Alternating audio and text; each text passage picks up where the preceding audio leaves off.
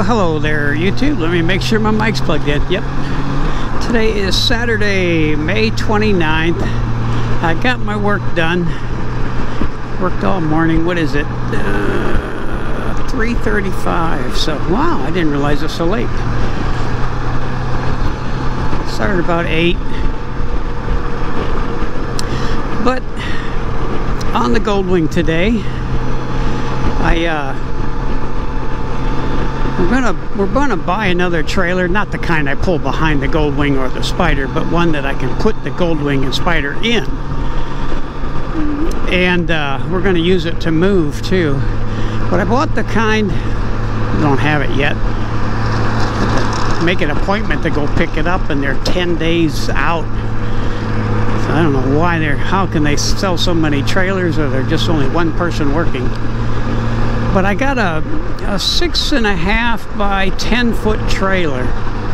And it's got three foot sides on it which are like oh I don't know what you call that. Hard grating not a fence but kind of that not chicken wire but the hard grating. And it's got a wood floor wood bottom and it's got the the big old ramp you can put down. I can drive either one of these right up that ramp but I wanted the sides not for the not for the trikes but when we move I want to I don't want stuff to fall out the sides. So I don't want them open sides so I bought that. I got ordered that and I just or reserved it for 50 bucks and, and they're gonna save it for me. But I'll go pick it up oh on the 8th believe it or not, wow, can't kick it up the same day. You don't have, by appointment only. Go figure. But I got to drive up to Killeen to pick it up. It's the only place I could find that kind of, the trailer I wanted. So uh, I'll go pick that up, and I already put the hitch on my wife's car. She she's got a Cadillac, um, oh, SUV. What is it? XT, XTF, or I forgot what it's called. I went blank. But I put the hitch on that the other day. That was kind of a pain. The holes don't. It, it was actually made for that SRX. It's made for the SRX, and but the holes lined up on the frame, but the holes didn't line up underneath. Uh, I had to kind of waller out. They didn't line up perfectly. I only got one bolt in that, but so I got five of the six bolts in.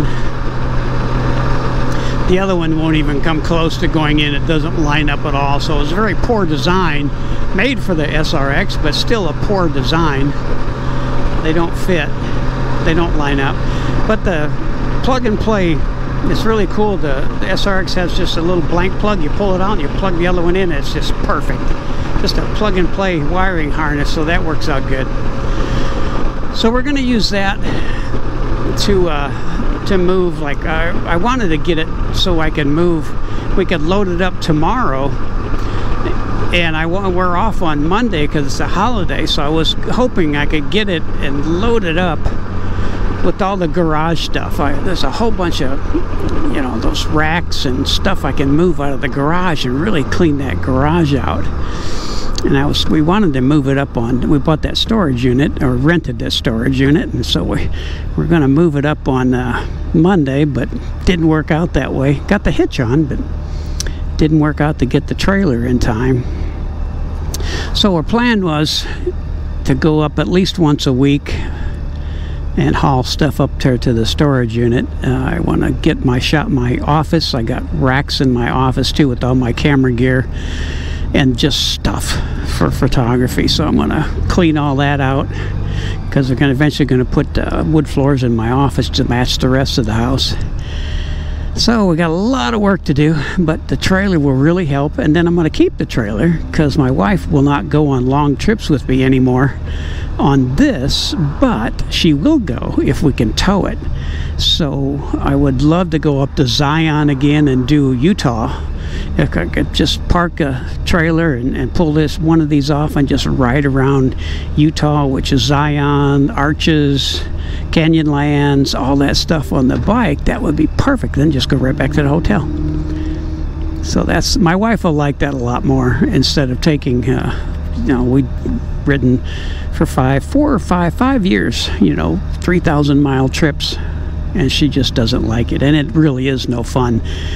I can't leave until mid June because of work, and it's hot as a oh my god we hit 109 degree temps and and she just doesn't like it and doesn't want to do it anymore and and I don't like 109 degree temps either but I can't go early because of work.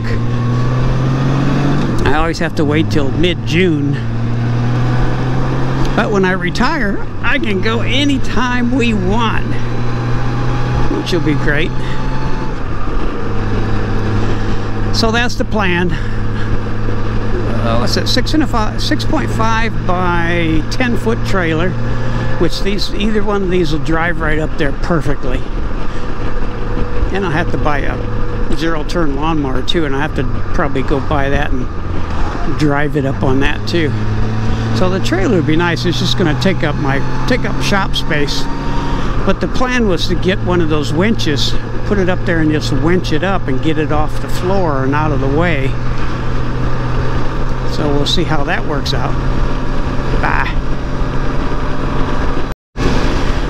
Oh, someone asked me on my YouTube channel in the comments, do I feel heat from the motor on the Goldwing?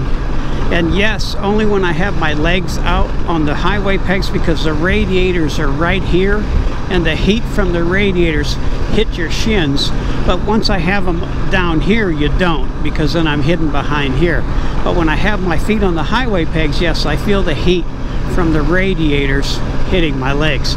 Now on the Spyder, zero because the the radiators are in the front and then when even the fan comes on it it pulls them from underneath and pushes it out towards the front. So you could ride all day long on the Spyder with your feet out on highway pegs or in the middle and you won't feel, you'll feel zero heat from the motors. None whatsoever. So the Goldwing's just got a big, uh, a big motor, a big six cylinder motor. So the, I mean the, like I say, the radiators are right there. So you could probably get some little vents to kind of go out, but uh, I'm not going to do it it doesn't bother me that bad. It's it's not like like burning your leg hot, but you can feel the heat.